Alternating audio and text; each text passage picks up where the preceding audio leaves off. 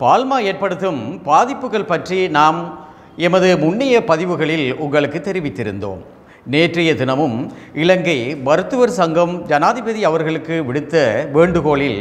இந்த பால்மாவினால் தற்போது ஏற்படும் பாதிப்புகள் பற்றி விளக்கமாக தெரிவித்திருந்தார்கள் මේ ආනයනික කිරිපිටි කියන්නේ මේ කිරි නෙමෙයි මේක රසායනික සංයෝගයක් කියන එක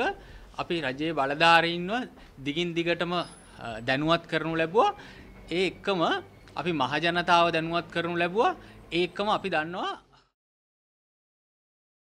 இறக்குமதி செய்யப்படும் பால்மா வகைகள் இயற்கை தன்மை அற்றவை எனவும் இதில் அதிகமாக பாமோயில் தேங்காய் எண்ணெய் கலப்படம் செய்யப்படுவதாகவும் லாக்டோஸ் எனப்படும் இனிப்பு பொருள் சேர்க்கப்பட்டு இது தயாரிக்கப்படுவதால் இது பல பாதிப்புகளை ஏற்படுத்துவதாக தெரிவித்திருக்கின்றார்கள் இதனால் ஏற்படும் பாதிப்புகள் அதிகரித்து வருவதாகவும் தெரிவித்திருந்தார்கள் குறிப்பாக புற்றுநோய் ஏற்படுவது அதிகரித்திருப்பதாகவும் சிறுவர்களுக்கு ஏற்படக்கூடிய டயபெட்டிக் என சொல்லக்கூடிய நீரிழிவு நோய் அதிகரித்து வருவதாகவும் தொற்றா நோய்கள் என கூறக்கூடிய கொலஸ்ட்ரோல் மாரடைப்பு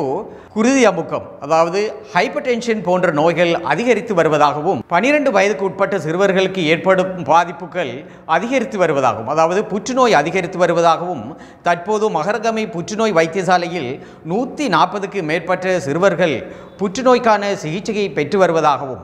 இந்த பால்மா இறக்குமதியை உடனடியாக தடை செய்யுமாறு ஜனாதிபதிக்கு இலங்கை மருத்துவ சங்க அதிகாரிகள் வலியுறுத்தியுள்ளனர்.